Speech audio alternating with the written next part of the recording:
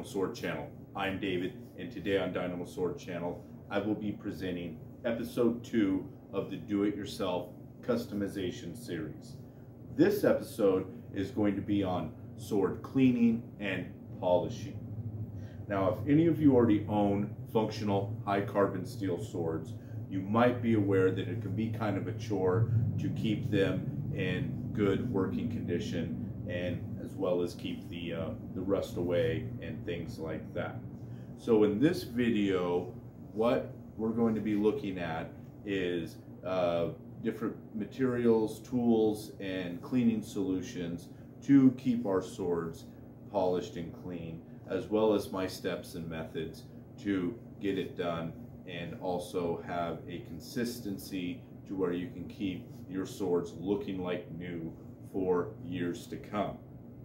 So in the beginning, I will grab the tools and, and things and we'll uh, show those and so you know what to get and what options there are to use.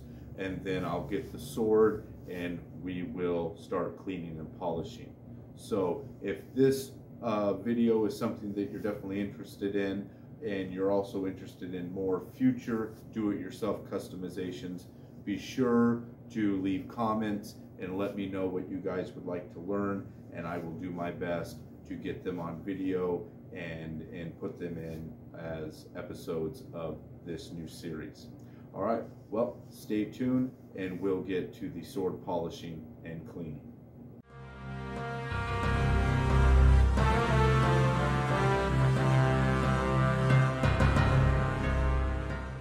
All right, welcome back. So here I have my basic um, cleaning solutions and, and materials to, uh, to keep my swords polished and clean. So the first thing we'll look at is oil. Now, since it's metal, oil is very good at cleaning and protecting metal, especially swords.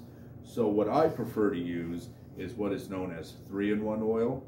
It is a uh, synthetic mineral-based oil and it does really good uh, protecting from humidity, uh, weathering, uh, you know, water, rust, things like that. It also has a very good longevity, so you won't have to worry about it evaporating off your blade or, um, you know, if you keep a decent coat on it, you know, it will, uh, it'll last for a really long time. So definitely, uh, first one is you're going to want to get some good oil. And again, three in one is very highly recommended.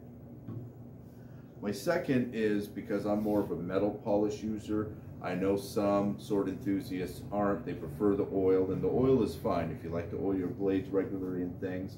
Me personally, um, one con to oil is is the smell and just the general consistency of oil gets on your fingers and, and things. So I tend to like to use metal polish, especially for the swords that I display um, and even the swords that I use because it is really good at cleaning up, especially after cutting sessions, for example, with water bottles and things where you're directly getting your swords in contact with moisture. So my personal favorite um, metal polish is Flitz.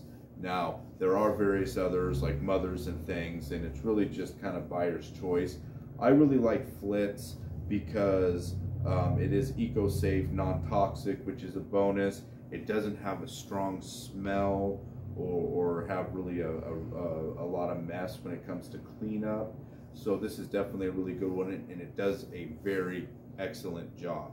So again, um, there are plenty of other uh, metal polishes to try, but if you want my personal recommendation, I definitely say go with Flitz and it can usually be found in any hardware or department store um, in the cleaning aisle or, or with the polishes and things like that in the hardware stores. So on to the more simpler things.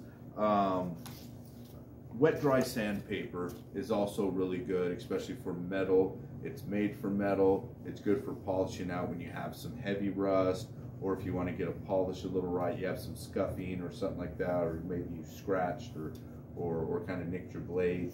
Um, wet dry paper is really good at polishing, honing for sharpening, things like that. Um, now, depending on the polish of your sword, you might not want to go too low in grit, um, like most sandpapers. Um, the lower the number, the heavier the grit, so the more um, abrasion you're going to get. So normally with most like satin finish swords and things like that, I like to stick around, you know, 500 to a thousand um, because it kind of matches that. And if you do get any surface rust or heavy rust, that 500, and then you just kind of work your way up until you get your polish a little more even. So right here I have two pieces. I have uh, the 500 grit here, and then I have a piece of 1000 grit. And normally how you use the thing, you can use it dry, but it's usually recommended to put a little water or oil on the paper or on the metal uh, parts that you're polishing and then kind of evenly blend it and go with the grain so you're not counter polishing and and you know ruining that finish. The other two are quite simple and probably something you have lying around everywhere. Um, you know, cloth towels, lint-free. Uh, I like to use the lint-free uh, style just because they're nice polished. They get a good even. Um, and then of course, some paper towels or something to apply your oil or your polish. I mean, you can use a towel to um, apply polish, but just so you're not really staining and, and having to wash your, your uh, um, towels a whole lot, might as well use some disposable papers. Since I'm here at the bar, as I usually do my videos, I did get some uh, cocktail napkins, which work just fine, just like any other paper towel or napkin or any other paper towel type product. So, so yeah, and that's basically all you need. Um, you know, there is a little technique to it, and we'll get to that next after I get the sword. But primarily, if you have, you know, this right here, you have plenty to keep your swords in good shape, regularly polishing and cleaning, you know, after cutting sessions or use, or um, just generally throughout the months. Um, you know, usually I like to try to keep my swords polished at least once a month, maybe two times a month, and then always, always, always make sure to give a good oiling or polishing uh, with the metal polish to keep your swords nice and clean after any cutting session or use, especially if there's any moisture involved. So, all right, so now that we have our um, materials and cleaning solutions, next I'll go grab the sword and uh, we'll start polishing.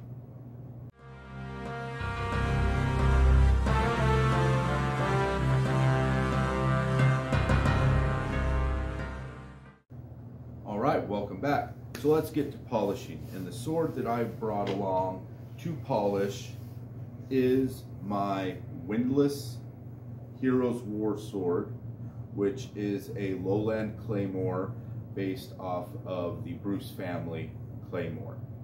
Now, if you've seen the video of me um, cutting with it, I have a few of them on the channel as well as my re-review that I did in video. Uh, you can see that this is a pretty big sword and I kind of wanted to do a big sword because I wanted to show that no job's too big and no job's too small.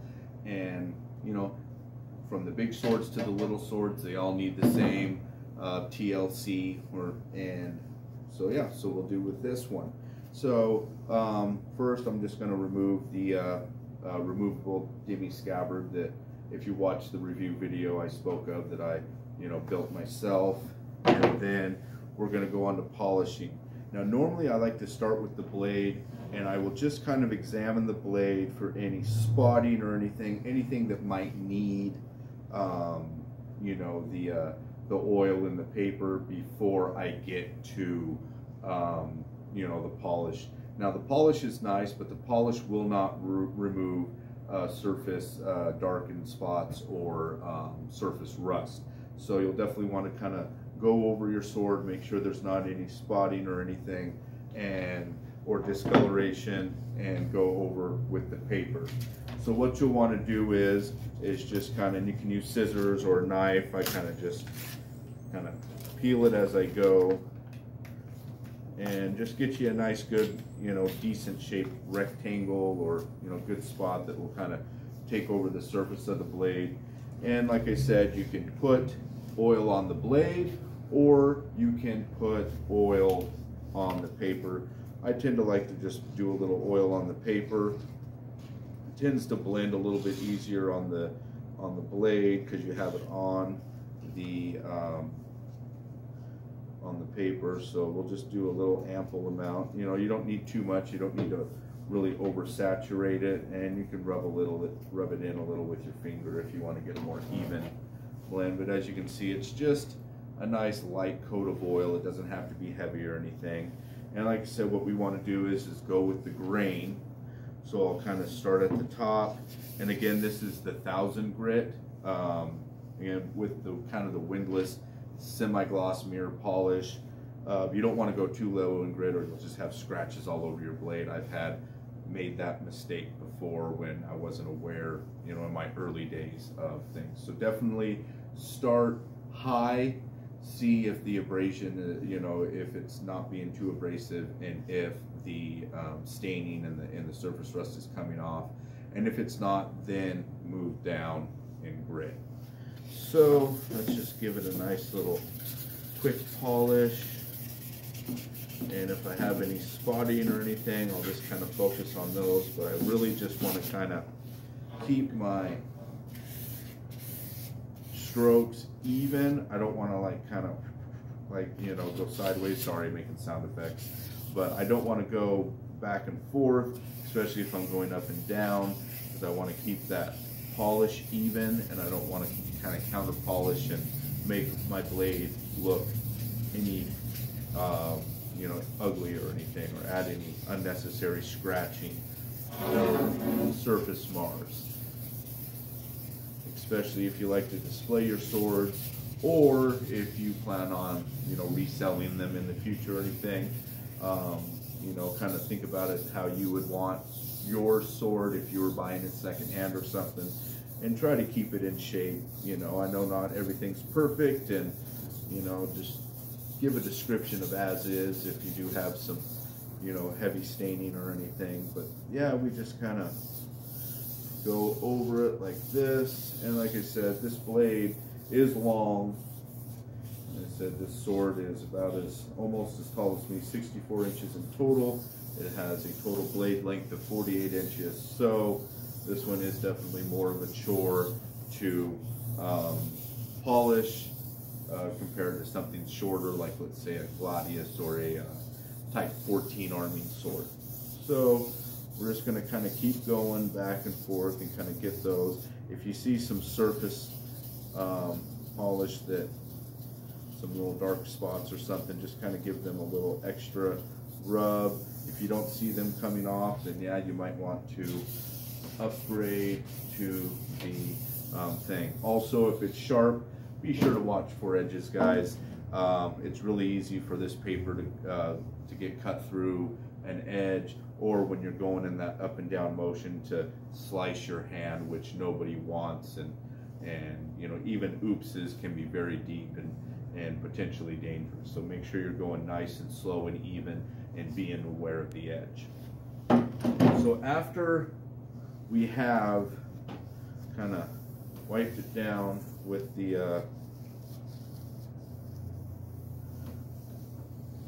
we'll just kind of remove and you can see just how much dirt and, and a lot of that's just the oil and, and the sandpaper, the dark. But you'll start seeing a lot of, you know, and as you polish it, you'll start seeing the blade getting a lot cleaner. Now this is as far as you really need to go if you're an oiler, but if you do like to polish, then you'll want to get this oil off and then you'll want to move on to um, your polish. Now the polish is really easy to apply all you got to do is is give it a good shake, kind of mix it up a little bit, and then as opposed to the oil, which I like to apply to the uh, sandpaper, I tend to like to give a nice little drip down the length of the blade so I know I have a decent amount for the whole surface of the blade. You don't want your polish kind of drying up. You can put it on the towel, but at the same time, you're worried about not getting a really even blend. So we'll just kind of give a little bit and I'll give you a view of what I did. Now, I did end up globbing a little too much on the top, but as you can see right here with the remaining um, length of the blade. That's about all you need. So I did do a little excess, but that's all right. Um, you know, unless you're running low on your bottle and you got plenty of swords to wall uh, to clean up. But yeah, we're just gonna kind of do the same thing we kind of did with the um, with the sandpaper and oil, and we're just going to sort of kind of apply this fully on the blade. So the whole blade gets a nice good coat. Think of it like kind of like you're painting the blade and it'll dry a little bit. The green will go away, and that's when you know you're kind of rubbing it in the metal and it's getting a good polish and finish. Again, guys, watch those edges. Again, if you see any more like spotting or anything after you've given it a good polish, because it will, they will be a lot easier to see because the rest of the blade will be clean. Um, definitely go back over it and get those spots out. Now, this is where I normally take my towel. And so what I do is, is I just kind of, you just want to rub all that excess off and kind of just polish it out so it's nice. There's no excess. You don't want to leave any excess polish on it. The polish is not good to leave on the blade. It can stain and dry and cake. So you definitely want to take your towel and just kind of do the old wax on, wax off, I guess you could say. So once we have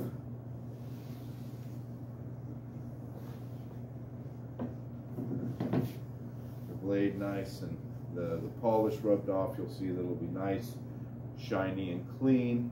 Be sure to be aware of your fingerprints. You know, if you want to wear gloves or something, you can.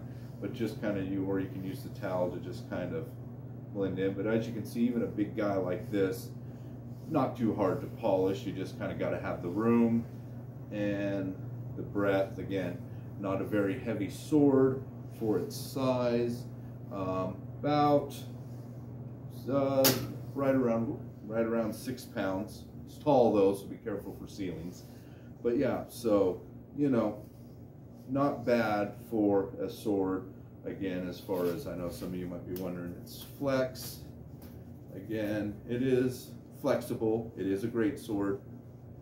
So, and you know, there's not much distal taper to it, but yeah, pretty nice functional $300 great sword. So now we'll move on to the uh, pommel and um, guard. So the pommel and guard, as you can maybe see with this one, I'll try to get a view of it, but this pommel kind of had a rough month. I don't know if it's just because it's going from winter to spring. I don't know if uh, just maybe I had a little too much moisture in the room that I keep it in, but I'm getting some pretty decent surface rust on that pommel. The guard's nice and clean, but for some reason the pommel just I don't know. Maybe, uh, you know, I touched it and didn't realize and kind of left my fingerprints on it. But again, this is a pretty easy fix. So what we can do is, is we can take our oil, because we still have it oiled, and just kind of give it a good rub. Nice and firm, since we have rust for sure, we want to get that rust off. And again, this is one of those times where if the rust is not coming off, which you can always test by kind of rubbing, but it looks like, oh yeah, it is. So I don't need to downgrade to the 500 or 800 or anything. The 1000's doing its job. You can kind of see the rust residuing on the paper because the paper's doing its job and, and the abrasion's getting it off. So you just want to kind of, again, go with the uh, polish so we're not making a counter polish which can kind of mess it up especially if you're on a lower grit. And pommels can be tedious because they all come in different shapes and sizes. This one's what's known as an onion bloom pommel, which is kind of a similar to a to a type T pommel as far as other um, medieval European swords go, or the scent stopper pommel. So they usually have some oblong shapes and edges, so it can be a little tedious to get around those nooks and crannies. But once you get it nice and once you kind of get a feel for it, flip the blade.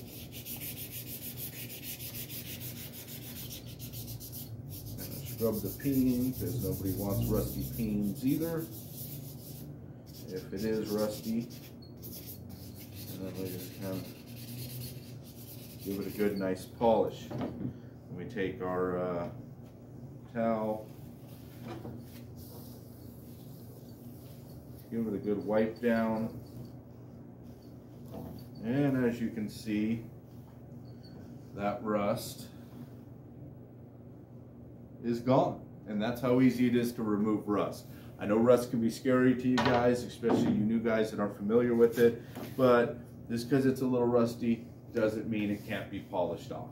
So then what we're gonna do is, is we're gonna go to polish, and since my guard is nice and clean, I'm not seeing any spotting or anything, we're just gonna take the thing, uh, take the polish, and now normally because the uh, guards and pommels are smaller, what I'll do is, is this is when I'll apply it on a towel because if you kind of drip it around, it can make a mess and, and you know, and I don't know how your surface is. You know, I got this nice big table, which I don't know if you guys can see from the angle, but it's actually a beer pong table that we have here at the bar. So a lot of fun. People have a lot of fun with that if you're familiar with the beer pong game. But so we're just going to kind of take our guard, give it a good rub down, especially the uh, inclusion here, which can kind of stick out and get a little rust, especially, um, you know, especially if, if your sword has an inclusion like this and it's uh, it's scabbarded. Um, it can uh, it can be kind of a rust magnet because fingers go there and um, the scabbard goes there, the leather thing, so that can cause some um, some issue. So just give it a nice good polish. All the corners and angles up and down all around so you know you got a good amount of polish on it. And then we'll take our towel, I'll keep it off. If you got any excess on the blade, that's all right. Just polish her off. Give that a good scrub and polish. And flip her over or him, however you pronoun your swords. And then,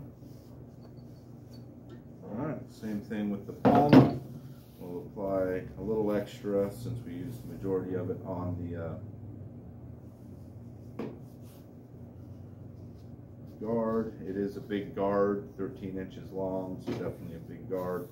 So now we're just going to kind of on. Now the other nice thing about Flitz is that if you do get any on your leather, it's not going to bug it. Um, you know, it just wipes right off. It doesn't stain it. It doesn't um, ruin the finish or anything as far as getting it um, getting it wrong. And so there we go. Nice polished lowland claymore. Now, of course, I didn't do one side of the blade, but like I said, I keep this guy pretty clean. Keep the blade housed um, so it's not exposed. And then, like I said, the only thing that's really exposed is the garden pommel. That pommel did get a little sassy with me this month. That's why I wanted to do this sword and show you some surface rust that can be polished out. So as you can see, nice and clean just like new, nothing to worry about. And then again, if you have, for example, a demi scabbard, just slide her back on like so. And there we have it. Back to a functional, nice and clean if you have it on the wall or something. So yeah, real easy to do, just takes a few minutes and you know, of course, takes longer if you got a lot of swords. So, but yeah, if you do this every, you know, once or twice a month, if you have a lot of humidity in your environment, or if you use your swords frequently, definitely you know give them a good cleaning after. But honestly, cleaning your swords is not hard. It's not difficult if you have the right stuff and you have the time and it's honestly in my opinion very therapeutic. I enjoy just kind of sitting listen to some music or um, you know based on you know if you like you know obviously if you like medieval swords and, and japanese swords put on a uh, you know sword themed movie like a samurai movie or braveheart or something. And uh, just sit there and relax and enjoy your swords while you know watching the film. And yeah should be real easy you know any chore can be fun if you make it fun. So, all right, well, I hope you enjoyed this episode two of the Do It Yourself Customization series regarding polishing swords. Now, I know this was more focused on European swords. If you really have questions about Japanese swords, and I know there's Japanese cleaning kits and stuff like that, but honestly, carbon steel is carbon steel. The polish, the oil, papers, things like that. They work the same for any type of sword. Doesn't matter if it's European swords, um, you know, Middle Eastern swords, Japanese swords, Chinese swords. Polish and oil is polish and oil. Um, but definitely, if you guys do want a uh, another video uh, where I could show you maybe how to do a traditional Japanese polish with the cleaning kit, show you how to use those guys, and some of the swords come with them, as well as just show you hey, this works just as well for Japanese swords, uh, shoot me some comments in the uh, comment section and I will definitely make that uh, a future episode. So anyway, thanks for watching and I'll see you next time.